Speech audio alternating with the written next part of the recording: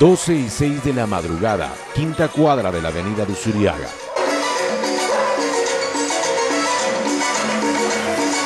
Los parlantes de un local político se encuentran encendidos y los vecinos no pueden dormir.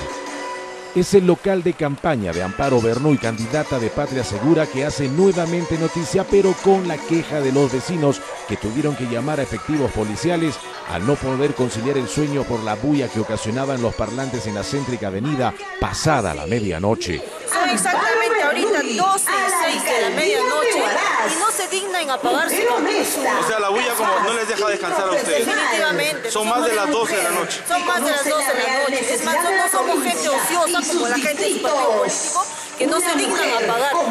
Busque otras estrategias mediante el cual pueda hacer su campaña, pero no molestando a nosotros, que somos los vecinos. ¿Qué le han pedido a la policía? Le hemos pedido que traiga escaleras, de ser posible que saquen a los, los parlantes, porque es por demás. No solo pegó sus afiches atentando el ornato de la ciudad, ahora genera contaminación ambiental con el ruido estridente de su propaganda política que está terminantemente prohibida realizar pasada las 6 de la tarde, sin respetar la tranquilidad de la población. Estamos molestos, nos está molestando realmente toda esta bulla que, que es todos los días, todo el día y, y no paran de hacernos la bulla, de verdad que es incómodo ya esto. Hay un tema acá, creo que el- la paz está perturbando la paz y el orden público. Hay una determinada hora adecuada para poder emitir libremente la propaganda electoral que el partido que deseen. Pero creo que ya a estas horas, ahí en la esquina hay un hotel de 25 personas. No es correcto que se cualquiera, pero hay que saber respetar derechos y deberes que tienen que ser cumplidos como deben ser. Somos ciudadanos de a pie, somos de acá de Huaraz, vivimos en Huaraz y no es correcto que nos traten así nuestro propio pueblo. Uno de sus colaboradores llegó al local partidario para apagar los parlantes siendo increpado por los vecinos que mostraron su enfado y fastidio y que manifestaron harán respetar sus derechos. tiene que descansar, señor.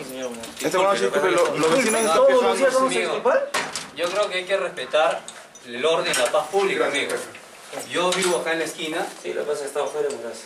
No nos interesa. Yo creo que Yo tengo que dormir, de señor. responsabilidad. Yo tengo que dormir. Yo le pido, por favor, la responsabilidad está primero. Yo le pido disculpas, está afuera, Muras. Está bien, a mí me la puede pedir disculpas. Voy a tener una queja Le pido- de le pido 25, disculpas- le pido 25 disculpas personas. un No, hotel. es por demás, ya, señor, esto es Un- un reiterativo, reclamo todos lleno. los días son lo mismo. ¿Quién me va a pegar para eso a mí? La falla económica que va a llevar ante Indecopi. ¿Quién me va a reintegrar eso? Ya, ok. Haga su, haga su denuncia. Yo soy una persona transformada. ¿Cuál es su nombre, este Yo Fabián? me llamo Ricardo. La policía registró el incidente que será presentado como queja ante las autoridades electorales y el INDECOPI, mientras que el colaborador de la candidata en el colmo de la desfachatez dijo que es otra agrupación política la que genera mayor ¿Qué dirían bulla. los vecinos en todo caso? Eh, bueno, que le pido las disculpas del caso respectivo, ¿no? Este, que no, esto no es, esto no es de todos los días, ¿no? Más bulla hace el maicito, ¿ok?